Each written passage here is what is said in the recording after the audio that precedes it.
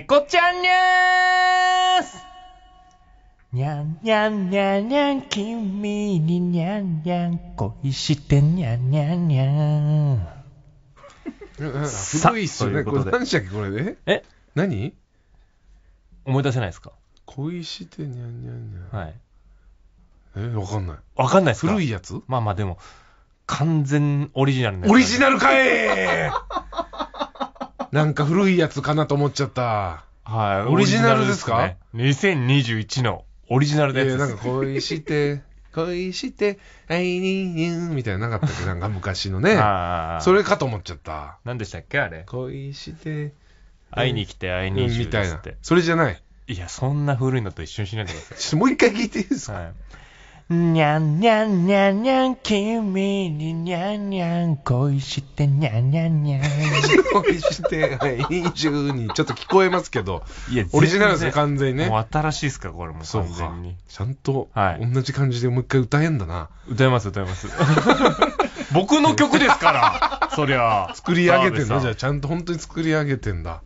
いや、そうですいや、よ。適当に、はい適当じゃないですよ。すいません、すいません。はい降ってきたわけですからね。すいません。はい さあ、ということで、この番組は毎週オープニングに、えー週末に放送された猫ミュージックくらい盛り上がる猫ちゃんに関するニュースをお届けしています。ラフミュージックですね。猫ミュージックだとちょっと笑いがね、笑い、いやいやいや、笑いないんで、やっぱり、猫なんでね。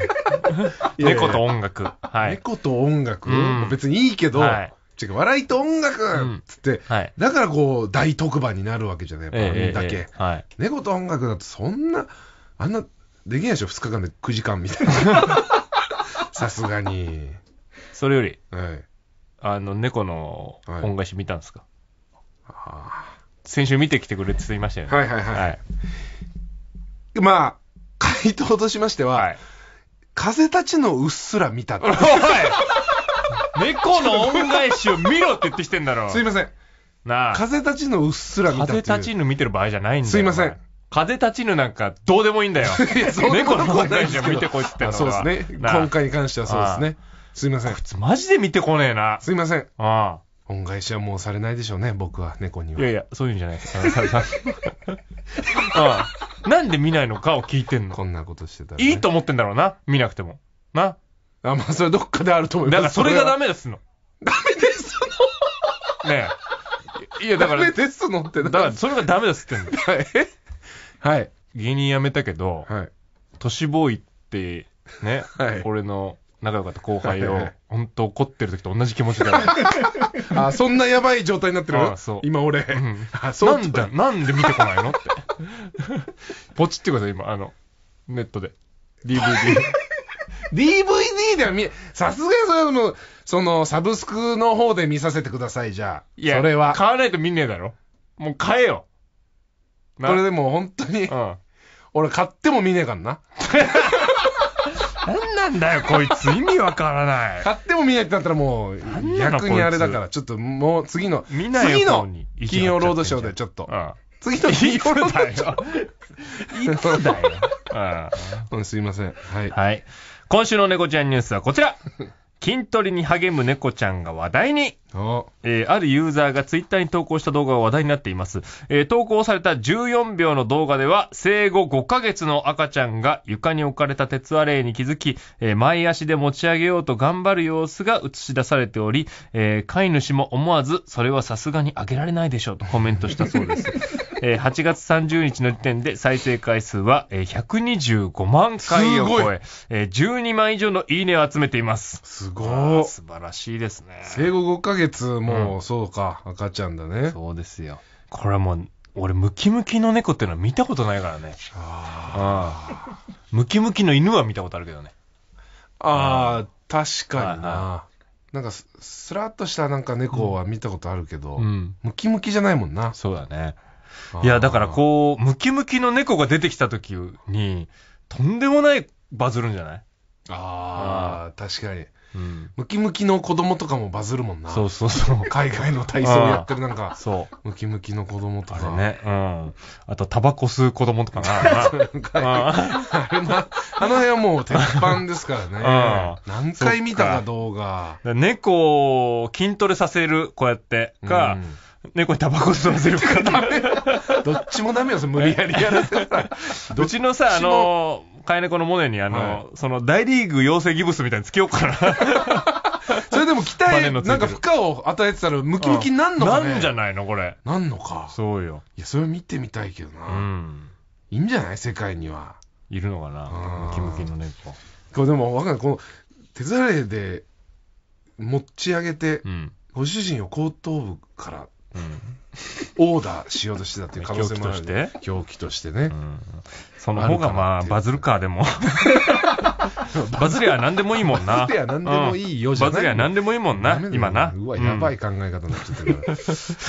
な、もう本当に。だからあの、スーパーにさ、うんあの、猫放って、あの、お会計前のさ、刺身を食べさせればいいんだよそれ。ヘズマ流、ダメなのよ。ヘズマニャンとして。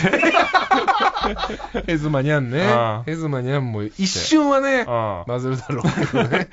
ということで、ねえー早速参りまごっちゃんにゃーすにゃんにゃんにゃんにゃんにゃん抱きしめてにゃんにゃんにゃんにゃんにゃん強く強くなんなん古そうななんか。何ですか、その曲。完全にオリジナルの。嘘だ。どっかで聞いたことありそうな 感じがしましたけど。これはオリジナルですね。完全なですか？はい。聞いたことあるんじゃないか聞いたことあります？な。わかんない。にゃんにゃんにゃんにゃんにゃん抱きしめてにゃんにゃんにゃんにゃんにゃん強く強く。聞いたことありそうだな。はい。やっぱちゃんと歌えんだね、2回目も。やっぱり。ちまあ自分の曲なんでね、ちゃんと作ってんだね。そうですよはいやっぱりすごいね。さあ、この番組では毎週オープニングに自民党総裁選に猫を当選させるべく猫ちゃんに関するニュースをお届けしています。まあ無理ですけどね。いやいやいやいや。猫の、だって国会議員がいないっていうか、まあ無理、いないから、無理だから。ん？無理ですよ。いやいや、これからですかね、じゃあね。うん。猫党を作って。えー、その、あ、で、はい。なんかそうか。そうそうそう猫で？うんいや、それはだからそれが無理なんです、多分。猫が立候補したらみんな投票しますよね、多分ね。しないです。え？そこシビアなんですか？あ、違う違う。出、出れないですよ。何がさ？そうなんか、出たらとか言ってますけど、うん出れないですから。出れますけどね。出れないですけどうね。ん。うん。まあまあまあ。さあ、まあまあまあじゃないよ、別に。出れないから。まあまあまあ、そう思われてるんでしたら。なんかお前が行きますけど大人の対応したみたいな空気やめろよ、腹立つから。さあ、今週の猫ちゃんニュースはこちら。なんじゃタウンに、にゃんじゃタウン、誕生出た。えー、これはね、ラジオネームバスターエンドラント会員からの情報です。えー池袋にあるなんじゃタウンが、えー園内に猫のふれあいパーク、にゃんじゃタウンを10月1日にオープンさせることが発表しました。えーこの施設では個性豊かなおよそ30匹の猫が住む、えー猫の街に人間がお邪魔して猫社会を体験できる空間となっています。えー猫に触れ合ったり、えーお気に入りの猫と写真が撮れるほか、施設内で販売しているおやつをあげることもできるそう出たです。岩井さんのまあ、はいはいふるさとと言ってもいいね。いや、なんそうじゃタウンだね。なんじゃタウンは。ねもうほんと芸能界一、なんじゃタウンが好きと言っても過言ではないですだって、ほんとに小学校の時から言ってたもんね。行きまくってますからね。行きまくってんだから。あの、年パスみたいなの持ってましたからね私はね。そう、だって、え、猫だよね、キャラクターも。そうなんじゃナジャブねうん。うんなんじゃタウンってね、そもそも。昔はな、なんじゃタウンって2フロアあったんだけど、いつの間にかワンフロアになっててな。寂しかったな、あれ。縮小してってるじゃん。うん お前のふるさと。縮小の時さ、うん新しいキャラ、モジャブってキャラがね、うんうんうんあの、足されたというか、うんまあ新しく登場して、うんで、セレモニーみたいな、うんブワーってこうなんか盛り上げるセレモニーみたいのをうんうんやってたんだけど、いや、でも縮小してるじゃんって。いや、それまあ、うんそうね。うん難しいとこだな、感情がな。なんか上のさ、あの階には、なんか泉みたいなのあってね。なんか、うん、そう。なんか女神像があるみたいなそれ泉みたいなのなんじゃタウンってことだよね。うんタウンの2階のフロアにさ、うん。あとなんかスパイ大作戦みたいな、うん。なんかサンダーバードみたいなね、スパイ、この体験ができるみたいなフロアがあって全部なくなっちゃってね。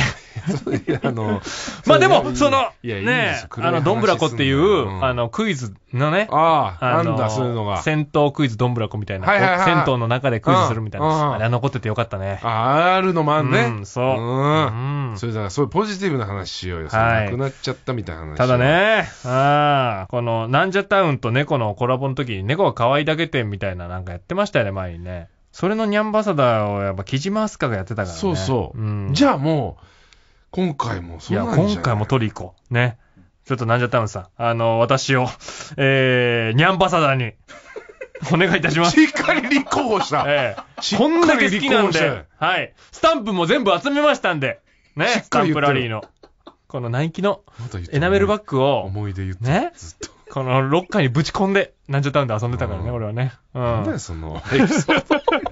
ちょっと、ぜひ、木島明日香をニャンバサダーにしてください。おいふざけんなよ。お願いします。番組的にも、一盛り上がりできますので、ふざけぜひ、おんなよ願いします。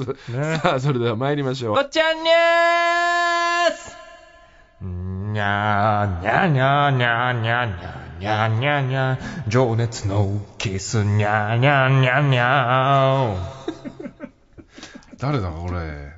情熱のキス。にゃにゃにゃにゃ。うん。なんかこう、歌声は、布袋さんっぽかったけどねう。んこれはあの、完全オリジナルで。嘘だ本当に？これそうですね。完全オリジナル？完全オリジナルのやつですね。なんか、まあ、布袋さんか、うんい。やでも、ブルーハーツとかなん、うんなんか懐かしさがまあ、影響は受けてると思います。いや、お前が作ったんでしょ？あそうです、そうです。あ、影響を受け、そこら辺の？影響はやっぱ聞いてきてるんで。ああ、ああまあそうだよね。どっかで影響は受けてると思います、ね。知らず知らずうち出てる可能性はあうる。ん、まあそういうのをね、まあ通ってきてますんで、私もね。まあまあねうんオリジナルす、めちゃくちゃ曲作り励んでるね。はい、そうですね。たまにあるね、その時期で。オ まあリジナルアル作りまくるバムを時期出そうかなってやっぱ思ってますけど、ね。これの、うん。ああ、溜まってるはいだろうね、確かに。さあ、この番組では毎週オープニングに TBS に8時間生放送の猫の日を作ってもらうべく、猫ちゃんに関するニュースをお届けしています。まあ、お笑いの日はね、うんやりますけどね、今年もね。まああ、あ、猫の日はなかなか難しいと思いますけども。おわ猫の日というかね。うん。おわ猫の日？う。ん、おわ猫の日みたいなことですかね。おい笑いと？うん。猫ですか？いや、猫の日ですね。いやなんかちょっと嫌なね、猫ネガティブなうん。響きだし。猫オワコンの日というかね。すごいこと言ったぞえ？終わりですね、も終わりじゃないですよ。終わりじゃないですよ。それはね。終わったみたいなうんさせないぞっていうことですね。うんう。。させないぞっていうのに言っちゃダメよ、はいお笑の日って。さあ、ということで今週の猫ちゃんニュースはこちら猫になりたいを収録したスペシャルアルバムをリリースうん。さあ、デビュー30周年を迎えたスピッツが、1999年リリースのスペシャルアルバム、花鳥風月に、インディーズ版のひばりの心から4曲加えた、えー花鳥風月プラスを9月15日に、えーリリースしました。えーひばりの心はメジャーデビュー前唯一のミニアルバムで、えー初回生産分のみの流通だったため、ファンの間では、えー幻の作品として話題になっていました。えーこのアルバムは CD とアナログ版でリリースされ、アナログ版は完全受注限定生産となっています。ど。出たはい。花鳥風月。花鳥風月ですよ。はいね思い出のアルバムでしょ？私のうん 思い出のアルバムです。そうなんですよ。そうこのね、スピッツもう何枚もアルバム出してますけど、はい澤部のね、家に中学の頃かな、はい行ったら、この花鳥風月っていうね、アルバムが、唯一、スピッツの CD がねそうそうそうそう、澤部ん家にあったのが花鳥風月ってそうそう、俺なんてこいつセンスのあるやつなんだ それなんかスピッツワンでもそういう見方の花鳥風月これはね、、花鳥風月なんでセンスがあるか教えていただきましょううんか。これはね、シングルでリリースされた CD のカップリング曲だけが入ってるの。そうなんだよね。それはなんか知ってた俺も。これをチョイスすんのか、こいつだと。スピッツの曲が好きだからってメジャー曲みたいのうんを入ったアルバムだって言って買った手に取ったわけじゃなくて、うんこのカップリングがいっぱい入ったやつを買ってると。ジャケットすごいおしゃれ。ジャケットをね。うん。そなんかあの、足がね、う。そうそう。映ってるやつね。で、紙ジャケ、紙っぽいこそうそうそうそう。ねああ素それ材がね。もなんかあったんだよな。風月。ャケ買いしたのかなう俺当時。こいジャケットもなんかおしゃれだったんつ、だよな。なんてセンスのあるやつなんだよ、こいつは。この、お前の、このな、うん。猫のになりたい入ったこの、花鳥風月。うん。お前の家に花鳥風月があったことと、お前の、あの、服のセンスだけはいいと思ってるから。めちゃくちゃ気持ちよくしてくれてね、オープニングから。えー、その側のお笑い要素が一つも入ってないけど、褒めるポイントで。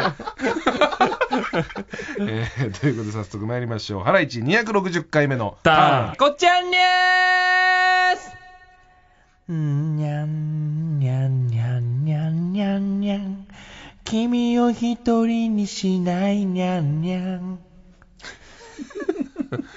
さあ、えー？ということでございまして、えー、オリジナル？これですか？ですか？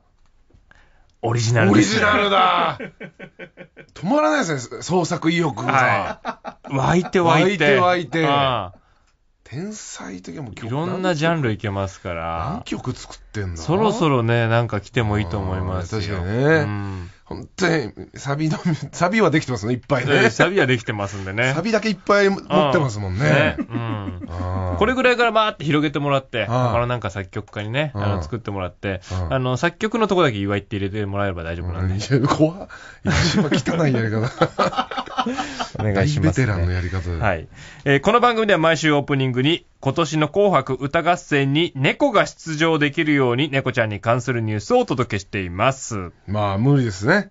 いやいや、山崎育三郎さんが内定したんですね。あ、そうなんですか？というニュースは、なんか、ありましたけど。次ぐらい来んじゃないですか？猫って。ね。無理でしょ？今ま猫でなかったろ、ねだって、うん動物が急に出る。ど、でもなんか出た方の、あのー組が勝ちになっちゃうかな、そうなってくると。ね、有利になっちゃうか。まあ、そうですね。赤組、白組、どっちが勝つか毎年楽しみにしてるねからな。そこに注目してる人いないんですよ、あんまり。え？おまけだから、あれ、勝敗。いやいやいや、おまけとかじゃないでしょ。おまけだから、勝敗。いや、これだからメス猫出すか、オス猫出すかに、もう本当にこれは相当な争いになりますよ。大きい旗の行方なんて誰も見てない。勝ちましたってねえ、合戦だよ、もう。合戦だから。合戦っていうその名前だけはさ、あんな本気でしょ。もしかしたらわかんない。俺らの歌合戦だから、これは。昔うは、んすごい意識してやってたかもしれないけどね。うん最近はもう別にいやいや、そんなに。そんななあなあな戦いじゃないよ、あれは。もう毎年、うんみんな楽しみにしてんだから、どっちが勝つか。いやいやね。もうビールとか、缶ビールとか用意してさ、うん赤い T シャツとか、白い T シャツとかみんな着て。ファンをテレビの前で？うんそ見たことあるそれ。勝った瞬間とか、あれなんか渋谷のスクランブル交差点とかでやばいことになりなかった？いや、なってないよ。静かなもんよ。それ大晦日だからじゃない？大晦日年越しでだよ、多分。どうなんすかね。うんはい。ということで、えー今週の猫ちゃんニュースはこちら猫に特化したバラエティ番組がスタート え？うんラジオネーム、論より証拠の大ライス特派員からの情報です、これは。えー、テレビ大阪で猫に特化したバラエティ番組、えなこさらば森田の猫しか勝たんがスタートすることが発表されました。えー人気コスプレイヤーのえなこさんと、えーさらば青春の光森田さんが MC を務め、猫の可愛い動画を撮ったり、猫に関するニュースを紹介する、猫様ニュースなど、猫にまつわる企画を繰り広げそうです。うわ。これはもう、やられてんねこ。れやられてるね。完全丸パクリだわ、これ。猫様に。猫ちゃん。猫様。あ何？丸パクリじゃん、これ。丸パ、丸パクリっていうか、まあ丸パクリっていうかね。えーパーソナリティも芸人と、うん。ね、この可愛い子で。えなこ。ねえなこさん、そう、人気だもんね。うんだから、この、森田がう、ん。だから澤部の位置ってことだよね。で、えなこが俺の位置をやってる どう認識してんの？え？な、何が？何が？何の話？え、だから、ハライチのターン芸人と可愛い、この、んを組ませようってやるでしょ？で、こう、ハライチのターンと一緒じゃんってこと、そういう全く？ことですよね。うん。でどどういうこと？やこれはやられたね。で、猫様ニュースやってんだから。えなこ？ひどい、もんだね。うん。えなこ？ええ岩子というかね。岩子とう、ん。澤部と岩子？澤部と岩子で。違う違う、それは別にコンビだから、ここは全然話当てはまんない。森田も最近猫やってんだよね。森田だって、いるんだよね、事務所にね事。務所で飼ってんの、あいつは。森東五反大あいね。つはもうなんかさ、うんあのー、事務所で飼ってるってとこはちょっと怪しいし、うまあね。ん、猫で仕事取ろうみたいなのやってるよね。森田ちょっうと、んそうだな。そう、きな臭いよ。きな臭いうんな、あいつはな。あいつの俺動画見たの。うんね。俺は猫の？猫の。うん。YouTube とかやってんだけど、動画で、うん。あいつが言ってんの聞いたんだよ。あの、その猫に対して、うん。あの、餌あげてる時に、うん。餌代ぐらい稼いでもらわんとなって。うわ怖っ。猫に対して